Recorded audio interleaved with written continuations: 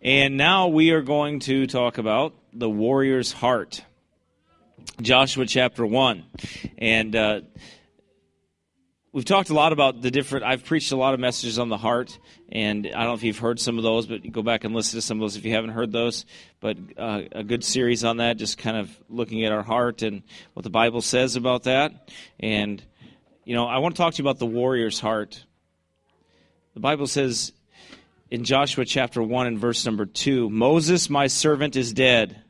Now therefore arise, go over this Jordan, thou and all this people, unto the land which I do give to them, even to the children of Israel.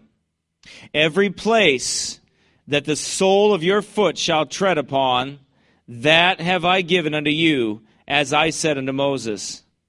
From the wilderness and this Lebanon, even unto the great river, the river Euphrates, all the land of the Hittites, and unto the great sea toward, toward the going down of the sun shall be your coast. There shall not any man be able to stand before thee all the days of thy life. As I was with Moses, so I will be with thee. I will not fail thee, nor forsake thee. Amen. He said, Be strong and of good and of a good courage. For unto this people shalt thou divide for inheritance the land which I swear unto their fathers to give them. Only be, be thou strong and very courageous, that thou mayest observe to do according to all the law which Moses my servant commanded thee. Turn not from it to the right hand or to the left, that thou mayest prosper whithersoever thou goest. Let's pray, Father. Oh, by the way, you know, let, let's pray. Father, Lord, I, I just pray that you be with us now. Help us, dear Heavenly Father. We need you, Lord. We need to be strengthened by your word. Lord, we need it every day because the devil hates us. This world hates us, Lord, and we know we're on enemy territory. But you promised that wherever the soles of our feet would tread, that we would tread upon, Lord, that you would help us. You would give us strength. You would protect us. You would keep us. Help us, dear God, to fight your battles and to have a warrior's heart, to be strong and of good courage. In Jesus' name we pray. Amen. You know, Joshua, he had a warrior's heart. He was a warrior. Joshua was a warrior before he was, he was a leader. Remember, Joshua was a, was a servant before he was a leader. He served Moses, but he was a warrior still. He was sent into Canaan to spy out the land. Ten other men said they couldn't do it, right? Ten other men said they couldn't do it. Don't ever be the man that says it can't be done, that God can't do something. Don't be that person. Don't ever be that person. Don't be found among those ten. Be found among the two. You don't want to be found among the ten. If God sets you out to do, do something for Him, then you believe Him and you go and you do it until you're dead. Amen? Don't turn your back. Don't turn. I'm going to tell you what. When your heart turns around, when inside your before your long before your feet go, your heart turns. And once your heart is turned, once your heart is turned away, and you don't and you don't follow through with what God has sent you to do, it's not too long before your feet go. Because once your spirit is so wounded and beat down and broken, you won't continue on for the Lord, no matter what. But like I've said before, there are men that have been smitten in their flesh, their flesh destroyed, and they, they you know what? They would hobble to it if they had to. They would crawl to it.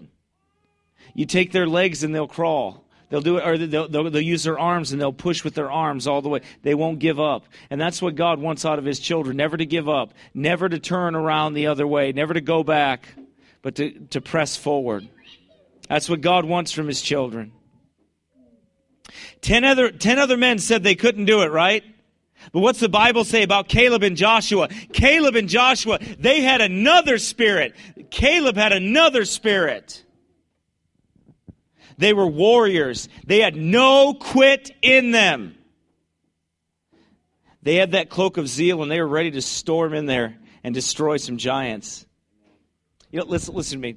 Your life is about destroying giants. That's what it's about. As a child of God, as a child of the King, you will forever be slaying giants until you're home. Do you understand that? Whatever those giants may be within, they may be without, it doesn't matter where they are. But you will forever be warring. You will forever be warring and trying to slay giants in your life and slaying giants in your life. You will forever be doing that until you're on the other side, until you war no more. But while we're here, this is a life of war. Doesn't matter how old you are. He's 72 years old. It doesn't matter. He still has to war. He still has to fight every day. Inward fighting and outward fighting. Amen. Both. You have to do it all the time time. You can never give up, never back off, always pressing forward. You know, Caleb and Joshua, they could have cared less about the sons of Anak. They said, all those men said, well, hey. Numbers chapter 13, verse number 33. And there we saw the giants, the sons of Anak, which come of the giants, and we were in our own sight as grasshoppers, and so we were in their sight. What happened? Well, first of all, they, these, these 10 men, they forgot how big God was. I'm going to tell you something. You want to see failure come? You forget how big God is. You go ahead and keep your eyes on your puny little self. And yeah, you are an ant. Big deal. God never told you you're going to take the land. God never told you you're going to be victorious because you, because you were mighty. No, He said you'd be victorious in Him. In Christ, all things are possible. In Christ, we have power. The authority and the power comes from the one who sent you not you. Let me help you. We have never been anything great, and we never will be anything great, but we have a great God. Amen. That's the difference. Numbers chapter 14, verse number 6. Turn there. Numbers chapter 14. As we explain this, I, I'm just, this is like the introduction here. Numbers chapter 14, verse number 6. And Joshua the son of Nun and Caleb the son of Jephunneh, which were of them that searched the land, rent their clothes. What happened? All these people are telling them, we can't do it. We can't do it. We can't, we can't take the land. We, we, we're never, we can't do it. Wait a minute. So God sent you in there to go spy out the land because you couldn't take it? What was that for? Why would God send you into someplace and say, well, you're going to utterly fail and all these giants are going to squash you like a bunch of ants, but hey, I'm going to send you there anyway? Well, why would he do that? Well, he wouldn't. He already promised them that. The strength is, but listen to me closely. The strength is believing the promises of God, not your own steadfastness. The strength is following and believing God. It's faith. It's nothing else. Right. It's not us. And there, there we saw the, the giants, the sons of Anak, right? And Joshua the son of Nun and Caleb the son of Jephunneh, which were of them that searched the land, rent their clothes, and they spake unto all the company of the children of Israel, saying, The land which we passed through to search it is an exceeding good land. If the Lord delight in us, then he will bring us into this land and give it us, a land which floweth with milk and honey. You know what? When you stop trusting God, you know what it is? It's rebellion. Because look what he said in verse number 9 or verse number 8 and if the lord delight in us he will he will bring us into this land and give it us a land which flows with milk and honey only rebel not ye against the lord Listen, when you and I don't trust God, when we don't believe God's promises, we are actually rebelling against God. We've rebelled against Him. And they, listen, they all got a company of people together, all 10 of those, 10 of those people. What'd they do? They had everybody murmuring and complaining. Man, they had everybody scared and worried. Where was there? It was the same thing that David walked into. When David walked into the camp of the Israelites, he said his dad said, "Go take him some cheese and some food or whatever, some bread, and some cheese, and all this. Go take it to your brothers and see how the war's going." Okay. So he walks into the camp, and what's everybody doing? Shivering and shaking. Saul's in a, in a in a ball of a mess underneath the tree. The Lord's anointed is sitting underneath the tree, all balled up and afraid. What's David do? David just walks in and says, "What's going on?" He's looking around at all these people, and there's like, well, see that giant over there? He's defied the living army, the God, the God of Israel, and the, and the, and the armies of God. That's what he's done. And the king said, if, if we find a champion, wait a minute, why ain't the king the champion? What happened to him? He was scared. He didn't have the power of God anymore, right? He was like Samson, he wist not that the Lord had departed from him. So he's over there sitting there in a tree. And what's David doing? David is a warrior. David's like, yeah, I mean, I, I took care of a lion. I took care of the, the bear. I mean, I, I've done all this. He's like, well, here, take this armor. No, I don't need that armor. I don't want that. I haven't earned that. Yeah, I haven't proved it. I don't need it. Just give me the give me the give me my sling and I'll go out and do it the way that God always had me. Just plain old his plain old sling, right? Just give me my plain old sling and some stones. Right? What did he have? He had a warrior's heart. He believed God. But he said to these people, he said, Only rebel not ye against the Lord, neither fear ye the people of the land. Look what he said. Look what Joshua said to them in Caleb. For they are bread for us. Their defense is departed from them. And the Lord is with us. Fear them not. What did he say to him? What was the charge that he gave him back in Joshua? Or what he gave him? Be strong and of good courage. He's always given that charge to Moses. He said, Be strong and of good courage. Take a, you're going to go take the land. Be strong and of good courage. I've already promised you this land. See, that's why they roamed around in the wilderness for 40 years. 40 years. You know, there's a lot of people that don't trust God and they end up in the wilderness for a long time. Yep. These men were warriors before they were leaders. They were part of that scouting mission. But I'm telling you, Caleb and Joshua looked at those giants and said, Let's squash them! Let's just destroy them!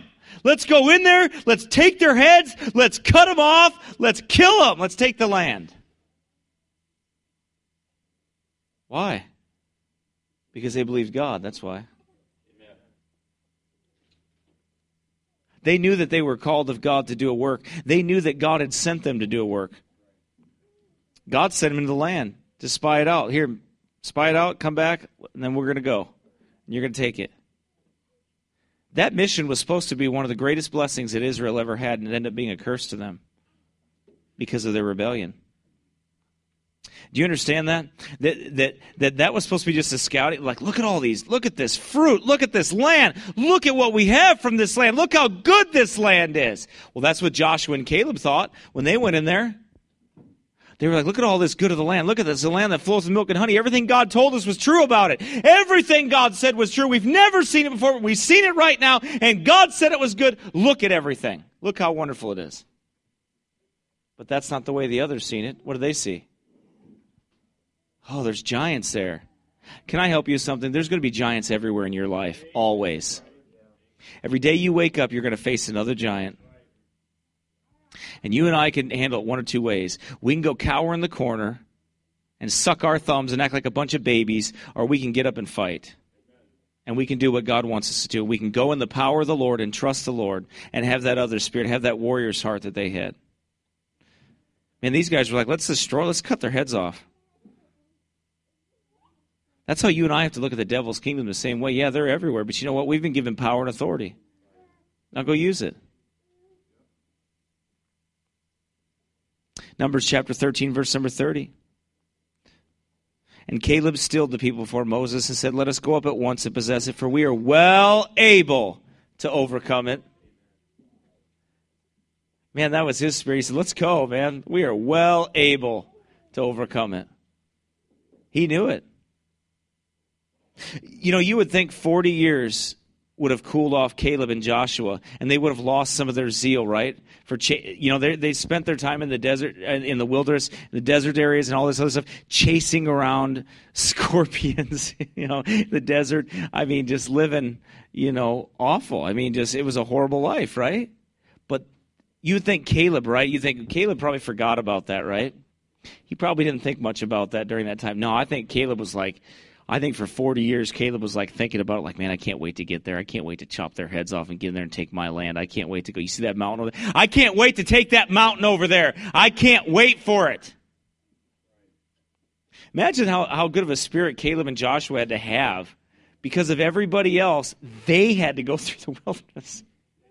But Caleb, you would think Caleb would be discouraged. No, Caleb wasn't discouraged. Caleb was like, it's about time. I'm ready to go. Let's go. So turn to Joshua chapter 15. You'll see the first thing Caleb does as soon as he gets a chance. He didn't let time cool his zeal off any.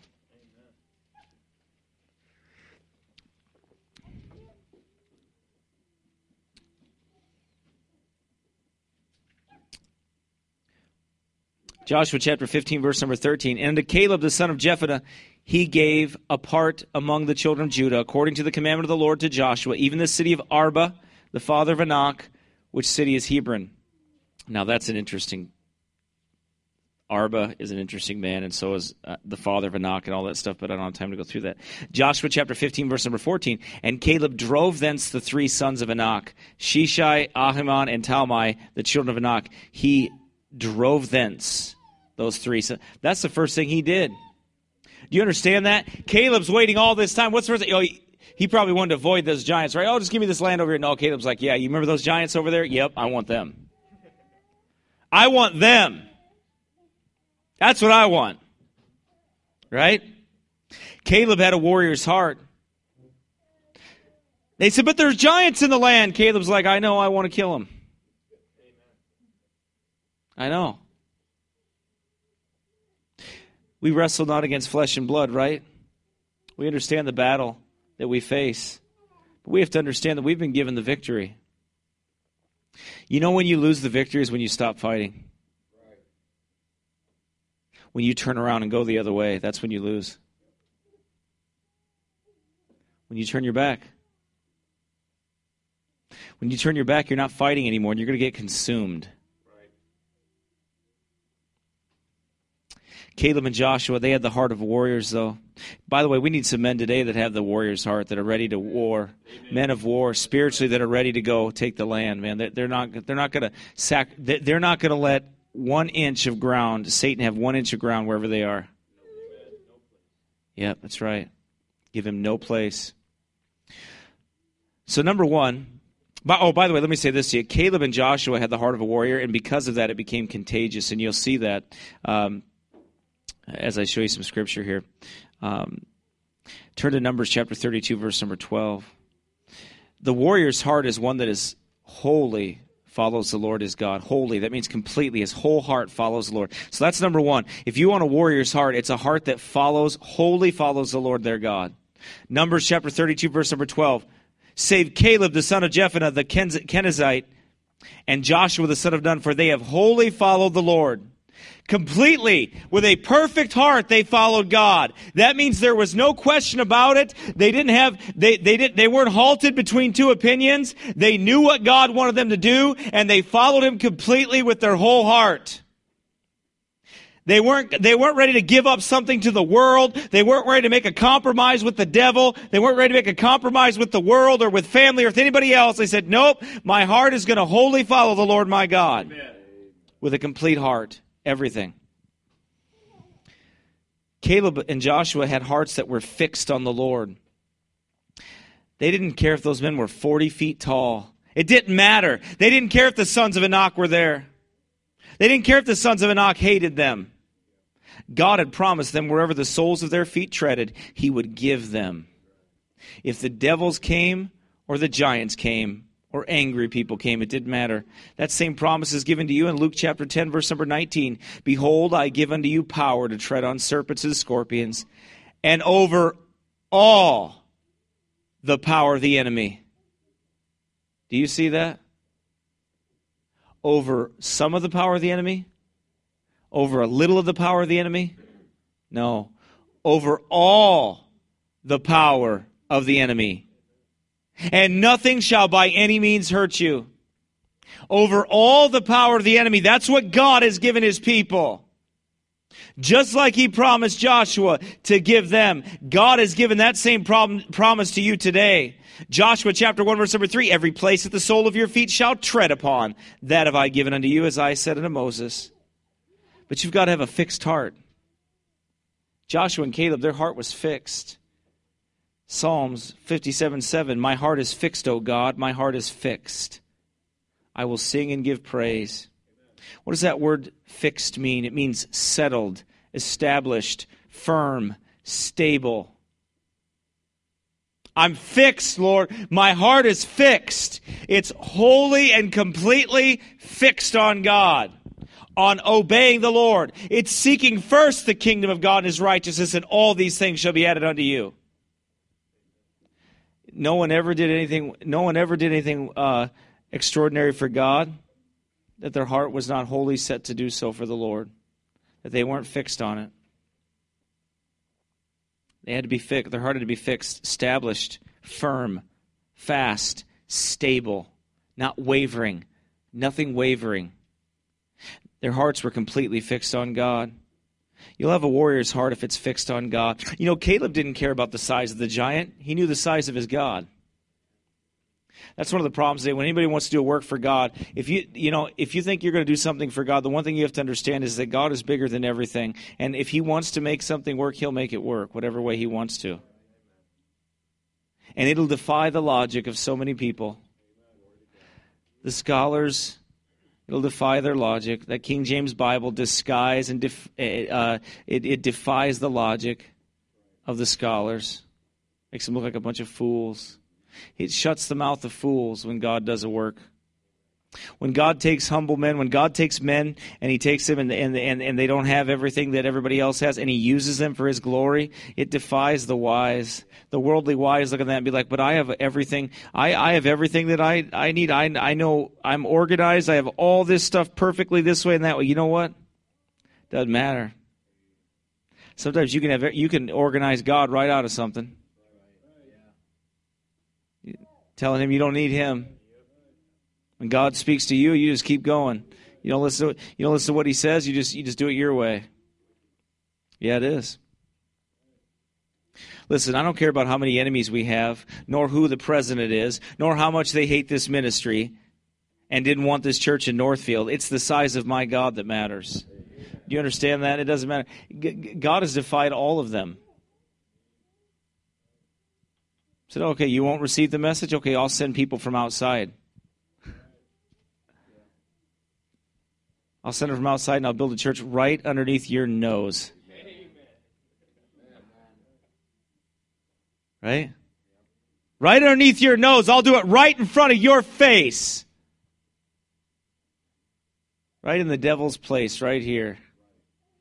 In the most liberal town in, in Minnesota with two liberal universities that are a bunch of God hating wicked devils.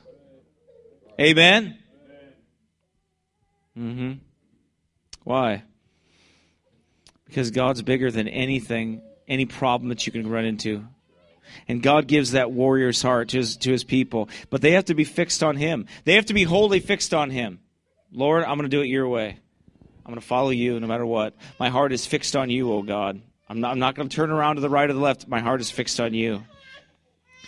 What did he say? He warned him, This book of the law shall not depart out of thy mouth, but thou shalt meditate therein day and night, that thou mayest observe to do according to all that is written therein, for then thou shalt make thy way prosperous, and then thou shalt have good success. Amen. Why this book? We follow this book. Amen? Amen. And then you'll have success. You don't follow this book, don't expect success because you won't have it. You ignore what God says in His Word, you're not going to have success. Won't have it. Number two, the warrior's heart is a sanctified heart. Amen. It is a sanctified heart. If you are a warrior, then you, then your heart. If you are if you are battling the Lord's battles, if you are a soldier of the Lord's, then guess what? Your heart has to be sanctified. Joshua chapter three, verse number five. And Joshua said unto the people, Sanctify yourselves, for tomorrow the Lord will do wonders among you. But what did he say? Huh? Sanctify yourselves. You want God to do wonders among you? Well, if you're not holy, if you're not separated unto God, if you're not sanctified unto God, why would God want to use you? You know, we have a, there's a lot of churches today that have a lot of activities going on, a lot of things going on, but they have no power. Why? Well, because they have a bunch of dirty vessels that are doing the work, and nobody wants to live for God and be clean and holy and separated and righteous unto Him. They don't want to abstain from all appearance of evil. They don't want to turn from the sin, but they want to embrace the sin. So most of them here can't wait till the Super Bowl starts, right? The stupid bowl. They can't wait for it to start. Right? A waste of life. Bunch of dirty, defiling, wicked commercials that are shown on there, advertising for beer and everything else, and liquor and everything, every other sexual innuendo and every wicked thing imaginable on there. That's what they want to, and, and some of God's people there, and I believe some of these people, a lot of these people are saved too, and that's why you see the judgment of God on this country, because the saved people are living like the devil, that's why.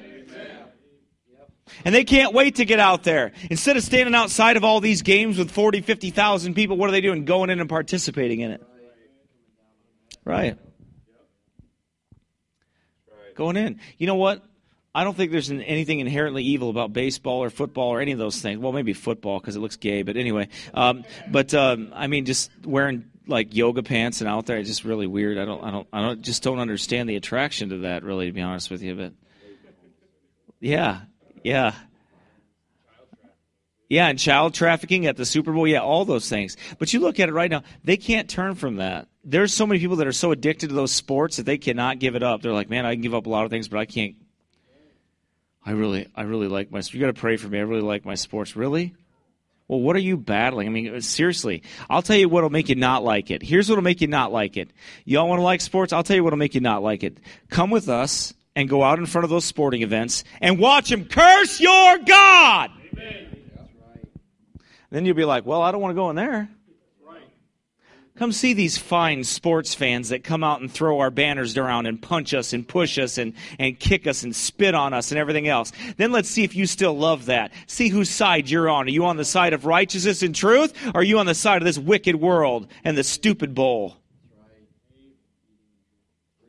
Don't say it like that. Say it nicer than that. I know, because then more people would listen to me if I said it nicer, wouldn't they? Grow up, you bunch of babies. Amen. Get right with God. Quit playing a playing with a ball and sucking your thumb all the time. Be a man. Stand up and go fight a real battle for the Lord. Go stand up. Go stand and rebuke them in the gate. That's what you need to do. Instead of going out and, and, and supporting that garbage. You really, really seriously, you think I want to support these wicked men? Look what they do. They get millions of dollars and they're a bunch of wicked, rotten drunkards, drug addicts, steroid pe- people that are on steroids, sodomites, everything else. And you know what? Just go support them, right? Go, go. I'm not gonna. Why do I want to make that guy make a million? Help that guy make a million dollars? Right. So he can continue in his sin and die and go to hell. Why should we do that? Why should we support that? Why would we want to be a part of any of that?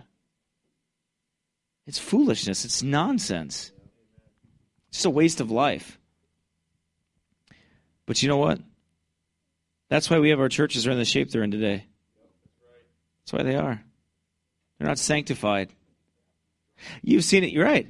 They're drunks. You, you, know, if you look at it, if you look at it out there, when we go out there and we see all these people, we stand in front of these events and we're preaching the word of God to these people, trying to warn them and they are scoffing and mocking. Listen, we're not even talking about football or baseball or any sports. We're, a lot of times we're just preaching the Word of God. Don't say a word to them about it. Sometimes we do. I mean, that's fine. I don't care either way. It's it's a bunch of childish garbage anyway. But um, but when you're standing out there in front of there and you're preaching these people and you see like their their attitude towards God, you see their attitude towards what they some of the most dangerous violent fans that we ever had brother paul was at that gophers game those people were awful. They were downright wicked and despicable people. I mean, it was unbelievable what they did. They were so mad that their, their, their little team lost, you know, that they started attacking people. They were trying to go after the young people, the, the younger men. They were trying to go after that, them. Right. Why? Because they're a bunch of wicked cowards, that's why. It's awful. But you know what? People will still love that stuff and support it. It just means you're not in the fight. That's why. Right. I like it when they call us fanatics. You guys are crazy fanatics. Well, probably not as crazy as you are. I feel kind of ashamed. I should be doing more. You know, I should probably be doing more because you guys, you look make us look pretty bad. You got your face all painted up right? and you're idolizing all these people, and you know you got all your banners, but we're crazy, right? Because we have banners. Those signs don't work. Well, why do your banners work when you have them? Right, the big foam fingers, right? We need to get a big, a, a big preaching foam finger.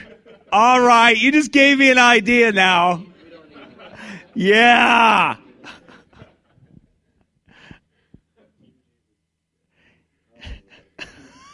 Look at look at look at Garrett. He's like, I don't think we need one of those. No, we need two of them.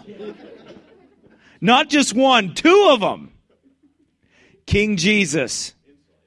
Yeah, you might need that. Amen. Hey, listen, you know what? I, I've got some banners coming that are going to, and some signs. I, I mean, I, I, yeah, I want them to be really, I, I want people to really read them. Why? Because I'm a, I'm a fanatic. You bet I am. You bet I'm following hard after Christ. You better believe it. By the grace of God Almighty. Leviticus chapter 26, verse number 3. 26 verse number 37 and they shall fall one upon another as it were before a sword when none pursueth and ye shall have no power to stand before your enemies and ye shall perish among the heathen and the land of your enemies shall eat you up why well if you hold sin in your heart god told them that you know what you're not going to be able to stand before your enemies and that's why half of Americans today that claim to be born again Christians and in our Baptist churches, which I believe a lot of them are, they can't stand before their enemies. They've got they're going to vote for their enemies. That's right. Yeah. Yeah, Ted Cruz or Trump. You're going to vote for them, right? They'll vote for the very people that will enslave them. Hmm Right. Like I told them, spend all that energy, stop wasting your energy on those people because they already know who's going to be president anyway. And go out and hold up a sign and go preach the word of God and warn sinners. The judgment is coming. That's what you need to do. But you go ahead and try to hold on to sit in your heart and be a warrior for the Lord, and you'll not be able to stand. You'll be you won't be able to stand. That's inward sin and outward manifestations of sin. In Joshua chapter 7, verse 1, but the children of Israel committed a trespass and the accursed thing, for Achan, the son of Carmi, the son of Zabdi, the son of Zerah of the tribe of Judah, took of the accursed thing, and the anger of the Lord was kindled against the children of Israel. His own children, and he's angry with them. God doesn't get mad. God doesn't get well, he doesn't get mad, but he does get angry. God doesn't get angry. God loves everybody. He doesn't get mad at any, he doesn't get angry with anybody. Seriously, some some lady last night came up to me, a charismatic lady from the Assemblies of God. Yeah, that was that's what I said. And then she she came up to me and she was like, you know, well, you, basically you guys are doing it wrong. It's like, yeah. And she said, and she looked at me and she said, You should be telling people that I'm not kidding you. I'm not kidding you. I'm being very serious here. She said, You should tell people that God loves them and has a wonderful plan for their life.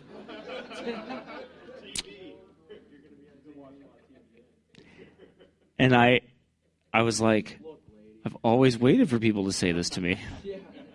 I was so shocked that she said it. I was like, she just told me I should be preaching that God loves you and has a wonderful plan for your life.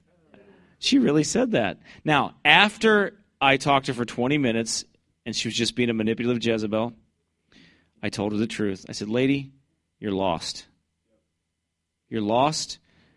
And she go, I go, Are you telling me you I should be like Joel Osteen? She said, Yes. I said, Lady, you're lost. You're a Jezebel, and I don't want to talk to you anymore.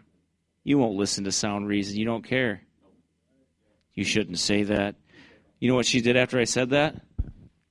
I won. Told you she was a Jezebel. Yeah. Yeah. Yeah. No, she didn't care about the Bible. I kept giving her verses all over. Verses, verses. Continue to give her verses. I was quoting verse after verse after verse, but she didn't care about that. No. Yeah, that's how she felt. That's what that's what Penteco- that's what a lot of Pentecostals and mostly charismatics. That's what they do. Right. Is that what that is? Thank you. I don't know. I can't even say it. So, anyway. God told him, Israel has sinned, and they have also transgressed. Look what God said to him, though. And the Lord said to Joshua, Get thee up. Wherefore liest thou thus upon thy face? How about that? So God says to us, too, don't, you know, why, why are you lying on your face like moping like that? Get up. And the Lord said to Joshua, Get thee up. Why? Israel has sinned, and they have also transgressed my covenant which I commanded them. For they have even taken of the accursed thing, and have stolen and disassembled also, and they have put it even among their own stuff. God says, You put it among your own stuff. Therefore, the children of Israel could not stand before their enemies, but turned their backs before their enemies, because they were cursed. Neither will I be with you any more, except ye destroy the accursed from among you. Up, look at this, sanctify the people, and say, Sanctify yourselves against tomorrow. For thus saith the Lord God of Israel, There is an accursed thing in the midst of thee, O Israel, thou canst not stand before thine enemies until ye take away the accursed thing from among you. Listen, you ain't going to have any victory in your life. You'll see no power in your life till you take the accursed thing from you. And that's exactly what's going You know what? And that thing can be in your heart. That doesn't have to be an outward object. That thing is in your heart. Some people hold on to whether it's aught against your brother for, for a long time. That's an accursed thing. And you hold that in your heart for a long time, guess what it's going to do to you? Eat you up and destroy you, and you have no power. I've seen men that used to thunder out the truth and be bold stand before people and mumble. And not even, what is that? It's because there's something wrong with your heart. That's why. You can blame everybody else you want to, but you know what? Let me help you. I'll spend a, a couple dollars and I'll buy you a mirror, and that's the person you need to deal with. Amen. That's right. Amen. That's the way it is. Because I'll tell you something, the greatest giants you'll ever face are the ones that are inside. It's the greatest giant you'll ever face. Listen, when you have the power of God, you don't stammer and stumble through. Now, sometimes we don't, our words don't come out correct. What I'm saying is, you are bold and you look at somebody and you just tell them how it is straight up. You tell them what you believe. You don't, you don't, you're not weak. You're not, you're not like nailing down jello, but you're, you're firm and you're constant and your heart is fixed. Okay? And you know what you're saying is true. If you get sin in your lives and you try to go out there and preach the word of God out there, we're going to fall on our faces. It's very dangerous. Let me can I explain something to you, men? Let me let me tell you something. It's very dangerous for you and I to harbor up sin. Because I'm going to tell you what, we go out on the devil's ground and we go out and we war. And if we ain't got our, if our hearts are not right with God, we are in a dangerous place. God could allow, there's a lot that can happen to you out there. Yep. So you trying to scare me? Yes. Yep. You bet I am. I'm trying to. You don't have the protection of God on you, you get knifed in the stomach, man, anything can happen to you. I've seen God miraculously defend us in a lot of situations. I've seen it. I've seen Him protect us through it. But you know what? If you and I don't, if you and I are not right with God, and you and I harbor sin in our hearts, and we hold on to bitterness, anger, wrath, malice, clamor, whatever it is, whatever the works of the flesh are, and we're not constantly repenting, that doesn't mean we're perfect. It means that you know what? We get alone with God. We say, Lord, please forgive me, help me to be stronger, help me not to give into these temptations, help me to work through these things. Whatever the case may be, that's what it means. It doesn't mean we're sinless, but we should sin less. Amen. That's what it means. And it means that we battle. There's a war going on. But we're fighting. Listen, if you can't battle the, if you can't fight the battle in your heart, don't try to go out in the street and do it. Man, you'll get pummeled. And God will see to it that you get pummeled too, by the way. God will see to it that you do. Why? To humble you. So you go to Him and you say, Lord, I need your strength. And I, Lord, I was wrong about this. Please forgive me. You can't have a warrior's heart if your heart is filled with sin. You can fast and pray and tell everyone you're doing it all you want to, but if you're holding out against somebody or if you're hiding sin in your heart, you're just starving yourself and it's a vain exercise. Right. Yep. That's all it is. It can be vanity. Amen. Bible says, Go leave thy gift and get it right with God, and then come back. Go get right with your man, and then come back. Then come back and do all those things. Amen? Right, exactly. But sanctify the Lord God in your hearts and be ready always to give an answer to every man that asketh you the reason of the hope that is in you with meekness and fear. Sanctify the Lord God in your hearts. That's the command of God to sanctify the Lord God in your hearts. Listen, the most dangerous sins for the Christian warrior are the sins of the heart on the inside that do not manifest outwardly right away it gives them a chance to fester and to hold on to them longer.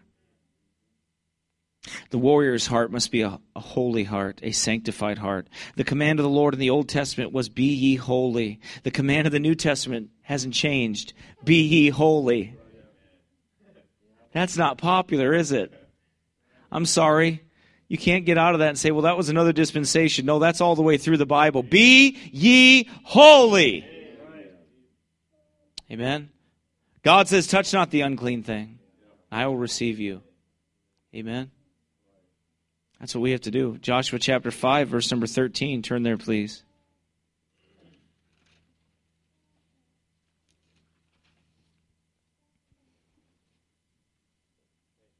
Look at this. And it came to pass when Joshua was by Jericho that he lifted up his eyes and looked, and behold, there stood a man over against him with a sword, with his sword drawn in his hand. And Joshua went out unto him and said unto him, Art thou for us or for our adversaries? And he said, Nay, but as captain of the host of the Lord am I now come. And Joshua fell on his face to the earth and did worship and said unto him, What saith my Lord unto his servant? And the captain of the Lord's host said unto Joshua, Loose thy shoe from off thy foot, for the place whereon thou standest is holy. When you and I battle for the Lord, it is a holy place. Amen. And it is for holy men. Amen. And if you don't want to be holy, then you don't want to battle the Lord's battles. Don't attempt to fight the Lord's battles when you love sin in your heart and you harbor it, you hold on to it, and you will not war against it. You will not confess it and get it right. Why? Because you're on holy ground. That's why. We are on holy ground brethren, when we serve the Lord.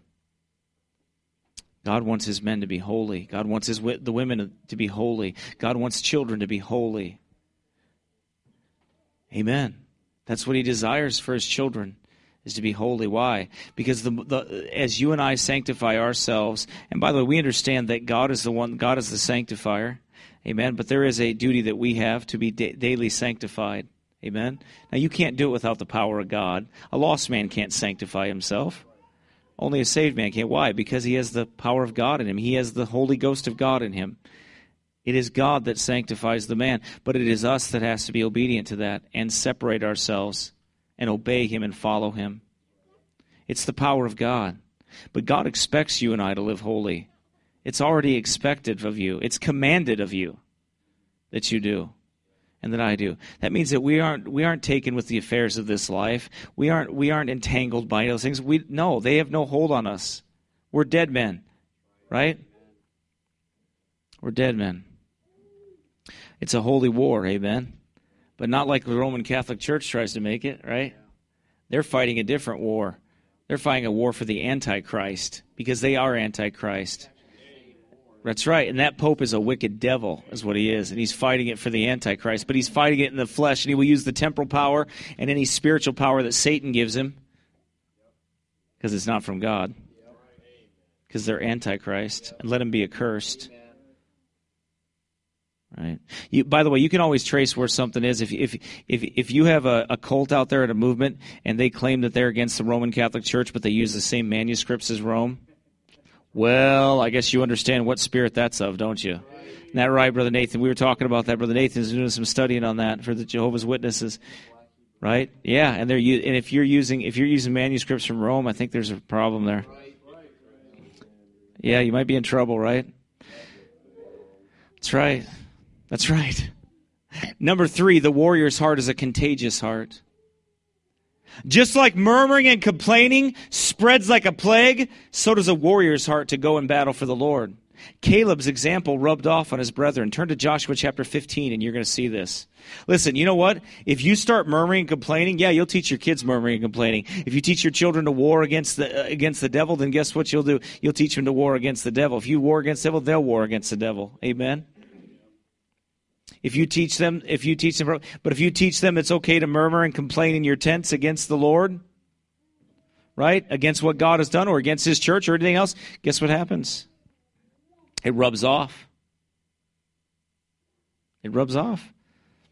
But so does the positive. Amen? So does that warrior spirit. Right? It encourages people. Listen, not everybody out there is lost. There's some saved people out there that they just need some encouragement. I talk to, I get emails from them all the time. And they and and they just praise the Lord. They're like, you know, that encouraged me. I, I just I, I want to do something for God now. And we know that because some of them are sitting in this room now. Because they watch this ministry, they watch what God has done in there, and they're like, you know what, I I gotta do this. I gotta be a part of this. I gotta do what God wants me to do. What is that? Well, it's contagious. It becomes contagious. Why? Because you have the same spirit, that's why. And you will naturally go where that where you see that spirit of the Lord, there's liberty, and you'll go there. Like, I want to see, I got to be a part of that.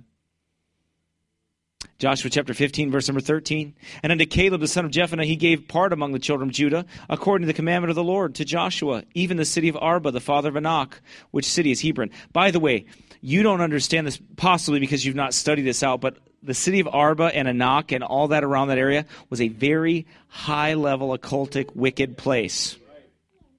Very wicked. Arba was a great man. That doesn't mean what you think it means. The father of Anak, they, they were giants, okay? All right, they were giants. They were the leftover remnant of the giants. Very satanic, very wicked, very cultic. And what? Yeah, mountain, right? The high place. That's right. And what did what did Caleb say? Go right to the high place. Let's tear it down. Amen. Go right to the high place. Where are we going here about the end of this month? We're going to the highest place in St. Paul. Right? And we're going to preach outside of that wicked place. Amen. That wicked Roman Catholic Church. Yeah. Bunch of baby molesting wicked devils up there. Bunch of child molesters. That's exactly what they are. How many cases, brother? Hundreds? 400 cases? Reported. Reported. No.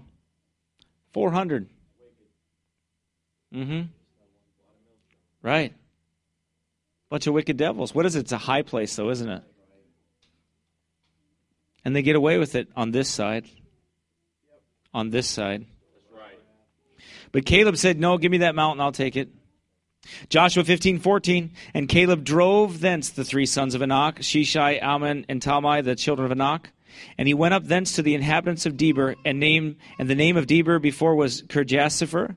And Caleb said, He that smiteth Kirjathsepher and taketh it, to him will I give Akash, a- Aksha, Aksha, Aksha, my daughter to wife. Whatever her name is, he wanted her to wife. He was going to give her to wife. And Othniel, Othniel, the son of Kenaz, the brother of Caleb, took it. Why? Well, I guess, you know, he probably had a good example with Caleb, right? I mean, you don't think that rubbed off at all? That didn't encourage him? when he's seen when he's seen this 80 year old man cutting giants' heads off? Well, that's a little impressive, isn't it? The fact that he didn't waste any time, he went right for their high place and said, Yeah, I'm going to chop their heads off. I'm going to take their land. I'm going to take everything they got. It's mine. I'm treading on it. Right? Because that's what God promised me. And it came to pass as she came unto him that his daughter moved came unto him moved to him to ask her father of a field and she lighted off her ass and caleb said unto her what wouldest thou? Who answered give me a blessing for thou hast given me a south land give me also springs of water. And he gave her the upper springs and the nether springs. You know even his daughter had that warrior spirit. She wasn't going to be settled. She's like well yeah you gave me the lord. Give me the upper too i want it all. Amen she she was like she had that same spirit why settle right Joshua chapter 14. Then the children of Judah came unto Joshua and Gilgal, and Caleb the son of Jephunneh the Kenizzite, and said unto him, Thou knowest the thing that the Lord said unto Moses, the man of God, concerning me and thee in Kadesh Barnea. Look at Caleb's spirit in Joshua 14, verse number 7. Forty years old was I when Moses, the servant of the Lord, sent me to Kadesh Barnea to spy out the land, and I brought him word again as it was in mine heart. Nevertheless, my brethren that went up with me made the heart of the people melt but I wholly followed the Lord my God. And Moses sware on that day, saying, Surely the land wherein thy feet have trodden shall be thine inheritance, and thy children's forever, because thou hast wholly followed the Lord my God. And now, he said, now this is what Caleb said, Now behold, the Lord hath kept me alive, as he said, these forty and five years.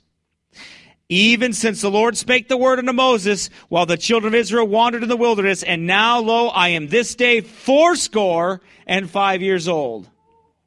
I'm 85. As yet, now listen to what he said.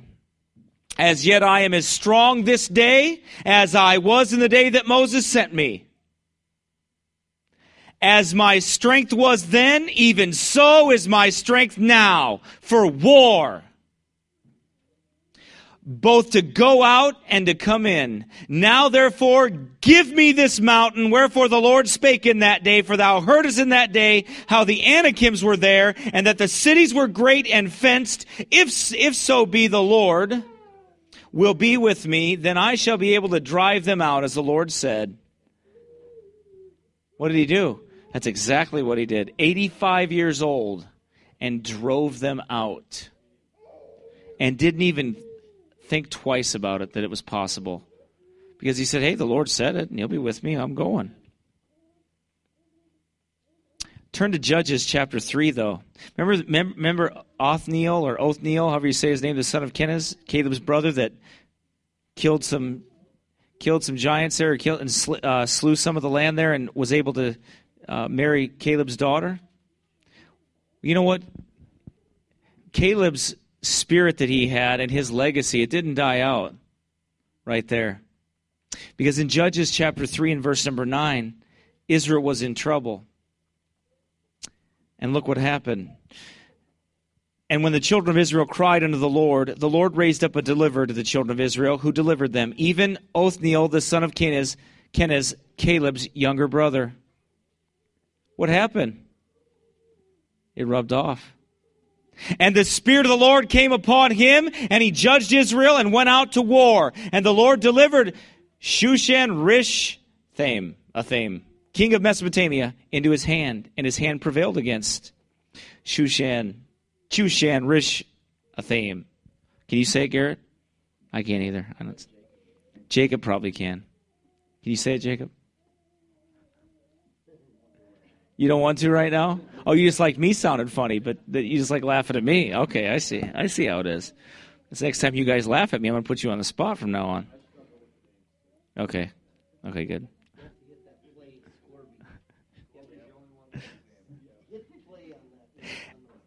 But notice what he said here. He said, And the land had rest 40 years, and Othniel the son of Kenaz died.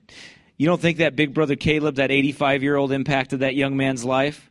What you and I do matters. It's contagious. What you and I do, the spirit that we have for our Lord God, the, the, the fact that we will stand for Him in that warrior spirit, it becomes contagious. People see it and they're like, you know what? I want a war too for the Lord. I want to do things for God. Amen? That's what happens. Is that what he says? With, with my dad? Yeah, you see Paul's preaches on that street with that old man? Is that what he says? Yeah, amen. That's right. Eh, but you know what? It took God to do a work in his heart for him to do that and it was totally against what he was used to because he's not he wasn't used to being bold like that and standing up and saying things like that to people and doing that. But you know what? When god starts to work in your heart you see it's never too late to serve god. As long as you got breath in, the, in this life then you can serve god. It's never too late to do something for god. It's never too late to get up and and and and uh, follow the lord jesus christ and obey his word. As long as you have breath in your lungs it's time to do something for god. He could spend out the rest of his years serving god no matter how long that is. I pray god gives him a lot, a lot many years to do that that. Amen. And it's a blessing to be able to see that. I thank God for that. I never thought that would happen. You know? Of course, I never thought I'd be preaching on the streets either, but, uh, but I never thought that would happen. But you know what? God does a work. And you can't use age as an excuse. Well, I'm tired. I'm this, I'm that. You know what? Everybody's tired. It's a long battle, it's a long war. But we still got to be faithful to God we still got to continue on for the Lord. And when we have opportunity, then we do what the Lord wants us to do. You know, when these other brethren they see this, it encourages them to go go to war right where they are and preach the, and preach and war for the Lord, to fight hard against sin and wickedness, and preach the word of God and warn sinners of their impending doom. Next, the warrior's heart is always at war. Listen, you're that's the one thing you can't stop fighting these pastors say, well, it's time for me to retire. No, there's no such thing as that. You don't retire. This is not a job. Yeah, I mean it's not. I mean it's like, what's your career? Well, I don't really have a career. I have a calling. I mean, I don't. I don't really have a career. I don't think of it as a career. You know. Yeah, I don't have a 401k plan or a pension plan. They're going to steal it anyways. I've got the I've got the Elijah plan. Amen. I've got the ravens and the crows and the, and everything else to come and feed you. Amen. And he always has. Amen. He always has. And he always will by the grace of God. Why? Because he's faithful. That's why. And I trust him. And the children of Joseph. But you know what? The warrior's heart is always at war. Turn to Joshua chapter 17, verse number 14. I think I'm almost done. Wow, this is longer than I thought. Always is, though. That's okay. That's okay. I mean, all you're going to do is go home and take a nap anyway after you eat all that food, so. Joshua chapter 17, verse number 14. And the children of Joseph spake unto Joshua, saying, Why hast thou given me but one lot and one portion to inherit, seeing I am a great people? For as much as the Lord hath blessed me hitherto. And Joshua answered them, If thou be a great people. I like this. I like how he answered them. Seeing how we're a great people, Joshua says, Okay, big boy, if thou be a great people, then get thee up to the wood country and cut down for thyself there in the land of the Perizzites and of the giants, if Mount Ephraim be too narrow for thee. Well, keep fighting. Who told you to give up? You want more? Go take more. And the children of Joseph said, The hill is not enough for us. And all the Canaanites that dwell in the land of the valley have chariots of iron, both they who are of Bethshean and her towns, and they who are of the valley of Jezreel. And Joshua spake unto the house of Joseph, even unto Ephraim and to Manasseh, saying, Thou art a great people, and hast great power. Thou shalt not have one lot only, but the mountain shall be thine, for it is a wood, and thou shalt cut it down, and the outgoings of it shall be thine. For thou shalt drive out the Canaanites, though they have iron chariots, and though they be strong. It Doesn't matter. It doesn't matter. Listen, it doesn't matter the obstacle. It doesn't. We have to pray and seek God's face and obey Him and continue on for the Lord. That's what we have to do. Right? It doesn't matter how big the mm-hmm. you know when I was sent to Northfield, it was hard. It's hard. Well, I know. I mean, he didn't send me because it was going to be easy, right? But it's hard there. It's hard anywhere. I mean, you're battling the devil and his kingdom. What did you, did you think it was going to be easy? I mean, in the beginning, I thought we'd, you know, it'd be a little bit easier. Some cookies and you'll be good. It didn't work. But you know what? We had to keep fighting. We had to keep battling and keep trusting the Lord. That's what we have to do every day. We can't stop. If you stop fighting, if you become satisfied with your spiritual walk and you settle for having some sin in your life, if you settle on past spiritual victories, you will cease to be the warrior that God wants you to be, and trouble will come your way. Judges chapter 1 shows us that they had some trouble come their way. And why is that? Because they stopped fighting. Judges chapter 1, verse number 27. Neither did Manasseh drive out the inhabitants of Bethshean and her towns, nor Taanach and her towns, nor the inhabitants of Dor and her towns, nor the inhabitants of Ibleam and her towns, nor the inhabitants of Megiddo and her towns, but the Canaanites would dwell in that land. And it came to pass when Israel was strong that they put the Canaanites to tribute and did not utterly drive them out. Neither did Ephraim drive out the Canaanites that dwelt in Gezer, but the Canaanites dwelt in Gezer among them. What happened? They didn't drive them out. What, what ended up happening to them? They were pricks in their eyes and thorns in their side, right? That's what happened. Why? Because they didn't drive them out. And God just told them, jo- Joshua told them, go up there and drive them out. Well, they, they didn't. They didn't drive them completely out. That's what happens when you and I leave things undone. Amen? You can't leave them undone. Never stop fighting the flesh, the world, and the devil. Never give it the devil a place. Victory is ours in Christ Jesus. We've been promised victory. Joshua chapter 10, verse number 24 says this, And it came to pass when they brought out those kings unto Joshua, that Joshua called for all the men of Israel, and said unto the captains of the men of war, which went with him, Come near, put your feet upon the necks of these kings.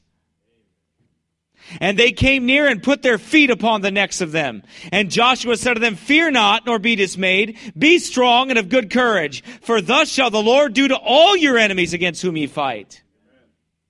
And afterward Joshua smote them and slew them and hanged them on five trees. And they were hanging upon the trees until the evening. The Lord will also give the better land to the ones who are willing to fight for it. If you look at it, they got the ones who are willing to fight for it.